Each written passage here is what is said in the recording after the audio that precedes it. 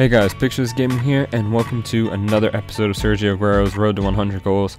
Sorry, this is not live commentary or face cam. Um, I'm gonna try to start doing that for all my videos, but for this one I couldn't.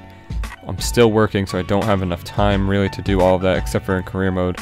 Um, but yeah, as you guys can see, that is the team we use, and the team we come up against first is an interesting looking silver and uh, silver and gold team. I mean, it's named after Ecuador, but there's not that many Ecuadorians in it. Um, but we start off very quickly in this episode with Sergio Aguero running through, scoring the very easy goal, and um, and then he gets some crappy goal right here. I'm not. I think I have Lloris in net, and I'm really sure why. Not sure why he didn't save that. Um, but it's all good. Uh, and if you guys are enjoying this series, um, make sure to let me know in the comments below, and be sure to like the video as well, um, just so I know if you liked it or not.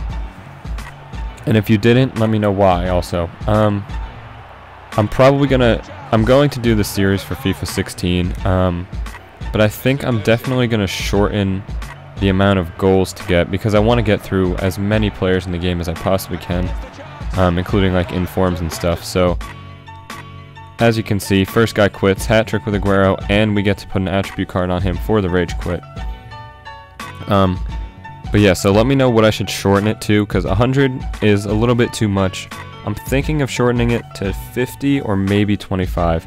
I'm not too sure yet. Let me know in the comments down below. Um, but as you can see right here, we're adding the attribute card onto Sergio Aguero, and that makes him one of the best strikers in the game as you guys have seen if you watch my other episodes of this, which will be on my channel. And then we come up against a five at the back team. Um, very annoying looking team, but some people just don't understand chemistry, so his team really wasn't that good. Um, Sergio Aguero, very interesting goal right here. That's just that pure pace and like that plus 10 everything really helps. And then the second goal that gets scored on me in this episode, um, again, pretty bad. Should have been cleared fairly easily, but it's not that big of a deal because as you can see, we are about to absolutely take over.